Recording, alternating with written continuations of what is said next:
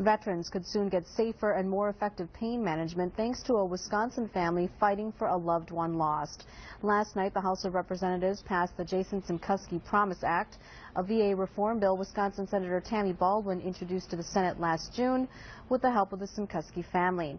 Jason was a Marine veteran who died at the Tomah VA hospital in 2014 from a toxic mix of prescription and opiate drugs.